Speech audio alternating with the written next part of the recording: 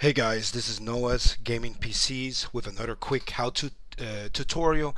Let's say that you have a low-end gaming computer or low-end uh, computer and you want to record some of your gameplay across some different games that you play. So um, the to the to go place is OBS Studio. Most of us use o OBS Studios, but again. Um, you may not have the best computer, uh, but you still want to record. So I'm going to show you guys some settings. I'm going to get straight to the chase.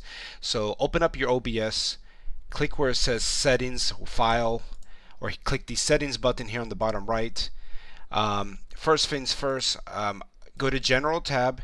I like this theme called dark.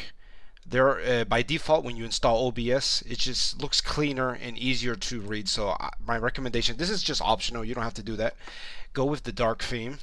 Uh, next thing you'll want to do, since this is a low-end uh, computer, you want to set the process. Uh, you got to go to the Advanced tab here under Settings and go where it says Process Priority. Put above normal. That way your CPU will give priority to the OBS Studio, and you'll be able to record your gameplay at a, a better uh, uh, FPS. Um, next thing you want to do is, of course, set up any of your hotkeys. Um, so the start recording button, you can just set that up with one of the key, one of the buttons on your keyboard, whatever works for you. Next thing you want to do is go to videos. And oh yeah, I'm not able to change this um, because I'm recording right now, but um, that's okay. Uh, basically, you want to set your common FPS value, set it to 60. You want to try to record at 60 frames per second. Uh, your the top one here, base canvas resolution, set it to your monitor's uh, current resolution.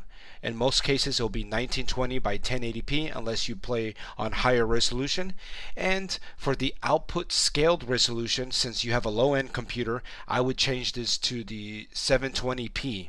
So look for something that says 720 or some number here, X 720 that's the uh, 720p that's still considered high definition uh, but it's going to be easier for your processor your CPU to render the images as you're recording and you're playing games at the same time. Uh, so make sure you do that. I've explained that. And of course set this to um, 60 frames per second. Um, audio leave untouched go with the defaults. Output this is where you're going to go to output mode by default it'll be set to simple so you want to change this to advanced. I already have advanced here. And then the next thing you'll want to do is go to recording tab since we're talking about recording.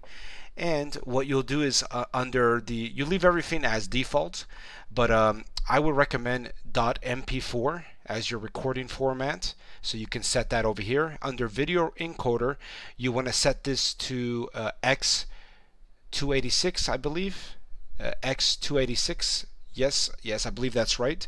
That's your CPU or the X286 software. That's your CPU. So we're going to have our CPU render. Yes, your CPU may be a low end, but uh, just wait. You'll be able to do these settings as I, I as I have explained. I'm going to try to provide some screenshots at the end of this so you can make sure that you followed everything. Again, I'm recording with OBS, so it's not letting me make changes. Leave this the same. Rescale output, just leave this the same 10, 1920 by 1080p. Uh, and then scroll down here and then under CB uh, rate control, make sure you select CBR and set your bit rate to um, 4,500 kilobytes per second. Again, I'm going to show you screenshots at the end of the video. Um, this you want to leave at zero. Your preset you want to go with ah, I forgot what it is, but I'm gonna I'm gonna show you guys a screenshot at the end. Uh, profile should be high, I believe, and then that's pretty much it. Um, you're gonna insert here under the AMF slash FFmpeg options. You're gonna set these options like here. So oh, I'm sorry, I said it's actually X X264 that's these that's the setting. Again watch the screenshots at the end of this. You're gonna copy and paste this. I'm gonna put this in the video description. You're gonna place copy and paste that into these options here. And after for example you paste it there you're gonna type space and then you're gonna grab one of these two settings here either zero latency or if you want quality go with this setting and you're just gonna pin that. Let's say I want to do this one here I'm going to copy that and I'm going to append that at the very end here. So again after you copy the first set of this here you're going to do space and then you're going to do control V and then you're going to add that there and then you're going to apply the settings. Um, and then that's pretty much it. So if you have a low-end computer you'll be able to uh, record your FPS your games.